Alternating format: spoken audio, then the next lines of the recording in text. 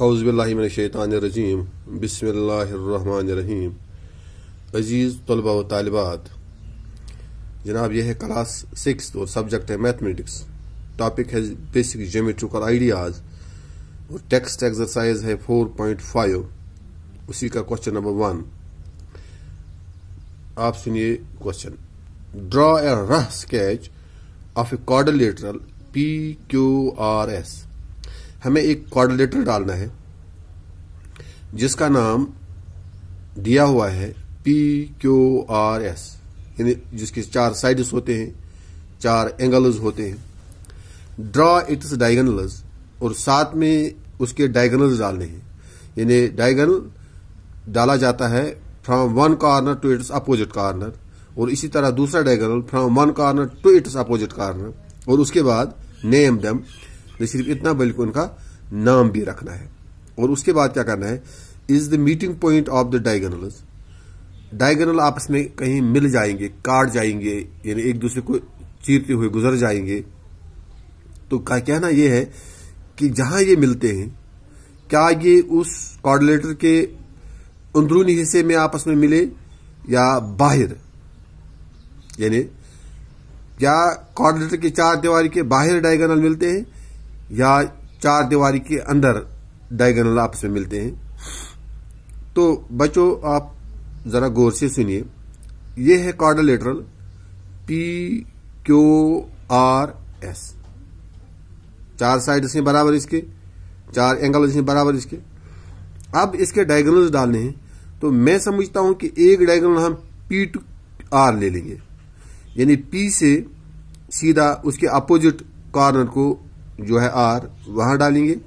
और उसके बाद एस कॉर्नर से सीधा उसके अपोजिट कॉर्नर क्यू की तरफ़ दूसरा डायगोनल ले चलते हैं।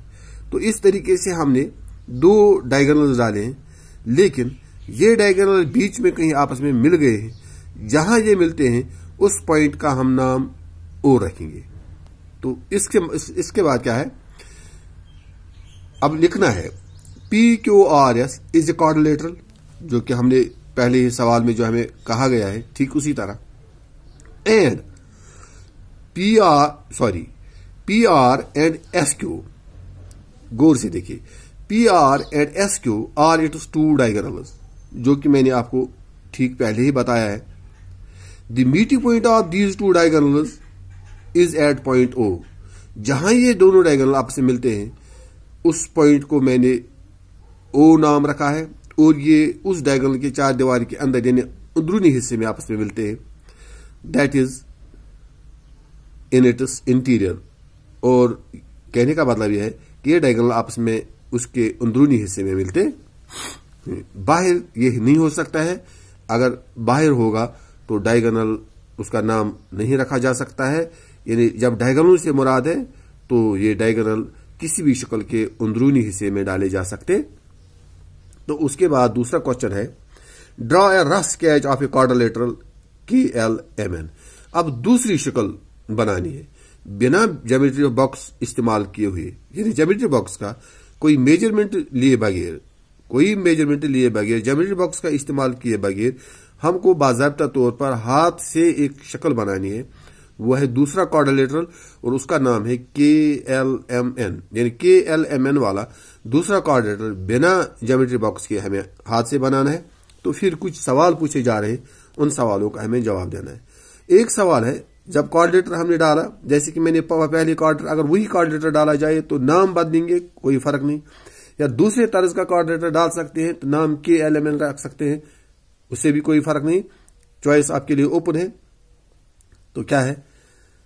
Two pairs of opposite sides. यानी दो जोड़े बताने हैं। उसी डायगोनल के, एलिमेंट डायगोनल के दो जोड़े बताने हैं, जो आपस में एक दूसरे के बाद मुकाबल है, मुखालिफ है। तो ज़ाहिर सी बात है रेक्टेंगल में आपको बाजाबत तौर पर हमने सिखाया है कि अपोजिट साइड्स बराबर और पैरल होते हैं। ठीक इसी तरह अपोजिट साइड्स का मतलब है जो साइड एक होगा, उसके मध्य मुकाबल जो सामने वाला साइड होगा, उसका अपोजिट माना जाता है। तो मैं समझता हूँ, ये जो हम मैंने डायगोनल ये कॉर्डिनेटर बनाया है, उसमें जो साइड्स हैं, वो है के एल और एम एन तो two pairs of opposite sides क्या है? के एल एक साइड है और उसका अपोजिट डेफिनेटली एन एम है। नो no प्रॉब्लम और दूसरा जो है एन के और उसका अपोजिट है एम एल एन के और उसका अपोजिट है एम एल तो उसके बाद दूसरा ये पूछा जा रहा है कि two pairs of opposite angles यानी दो जोड़े बताने हैं, जो एंगल्स आपस में एक दूसरे के मध्य मुकाबलों मुखालिफ हो।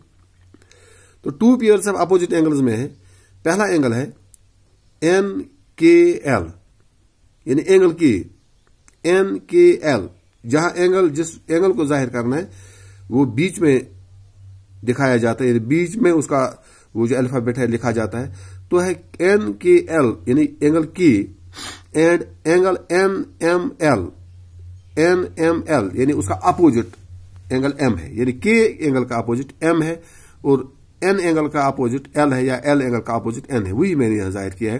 तो दूसरा पेयर है के एन एम यानी एन एंगल और उसका अपोजिट है एल सीधी बात है के एल एन एंगल यानी वहाँ ये सिंबल इस्तेमाल करना पड़ेगा एंगल के लिए। तो तीसरा है two pairs of adjacent side अब इसी क्वाड्रिलेटर में दो जोड़े बताने हैं जो आपस में एडजस्टेंट साइड हूँ। एडजस्टेंट साइड से मुराद दो लाइन सेगमेंट कहीं आपस में मिलते हैं। एक लाइन सेगमेंट एक जानब आता है और दूसरा दूसरी जानब आता है, आपस में मिलते हैं और वो दोनों साइड आपस में एडजस्टेंट साइड्स कहलाते हैं।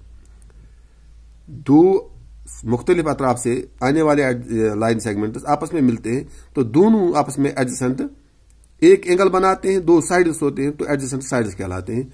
तो क्या है?